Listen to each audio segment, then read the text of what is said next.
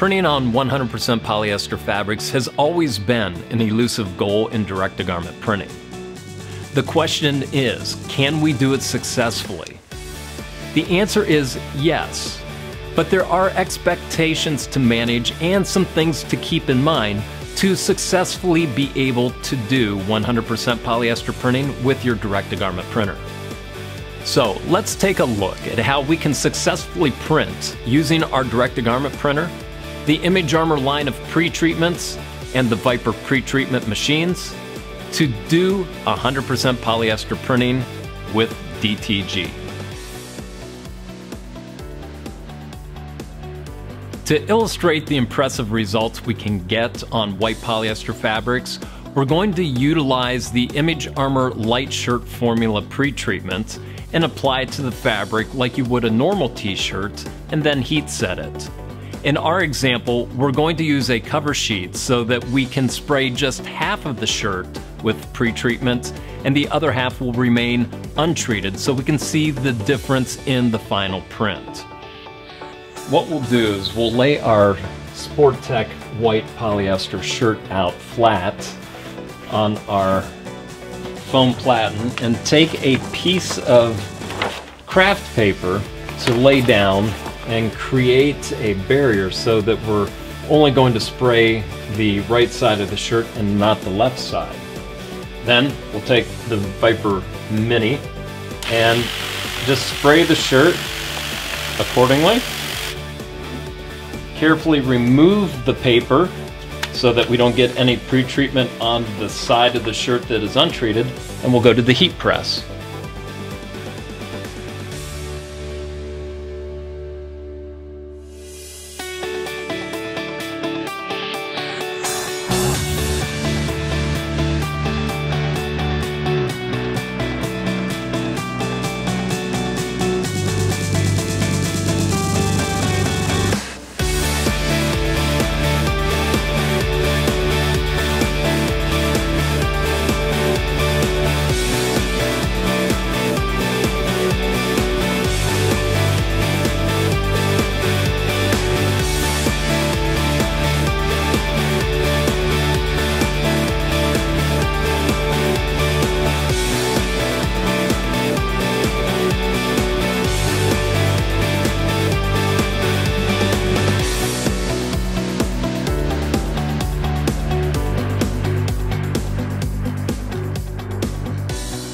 Taking a closer look at the results from our experiment with this side being untreated and this side pre-treated with the Image Armor Light, we can see for sure that the black is definitely not nearly as defined or black. This is a true rich black in comparison to the untreated side.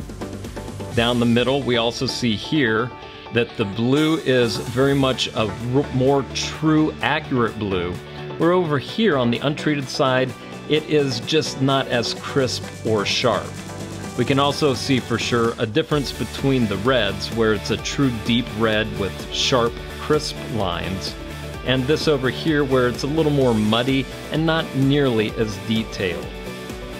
Now that we've had a look at how the Image Armor light shirt formula can help your white polyester printing, let's take a look at the elusive black polyester shirt.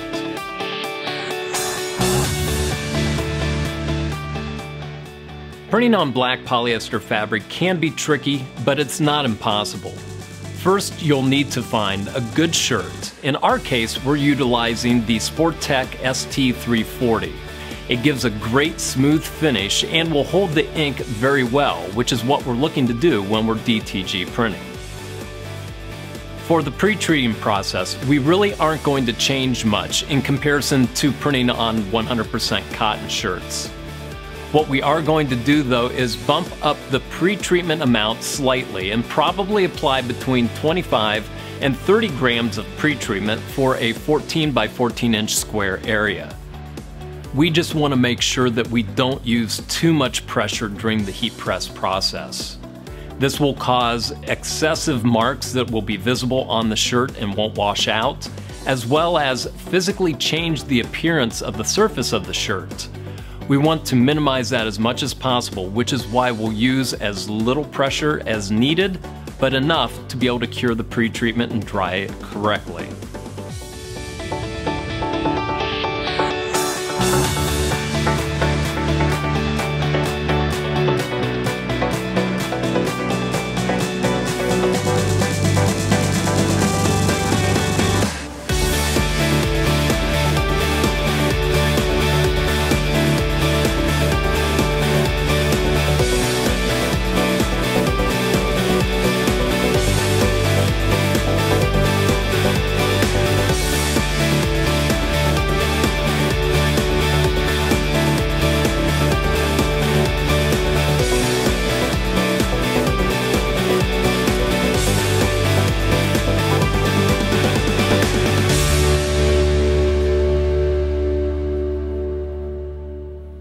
As far as printing is concerned, we really aren't going to do much of anything different. However, in the RIP, we will want to up the white underbase as much as possible without overdoing it, and this will depend on how much ink that your RIP will allow your printer to put down.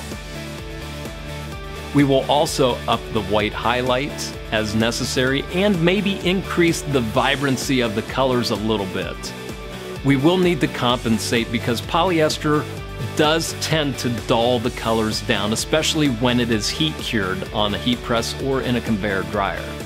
Now note, a conveyor dryer will cure the ink and it will also not allow the pressure of the heat press to mute out the colors.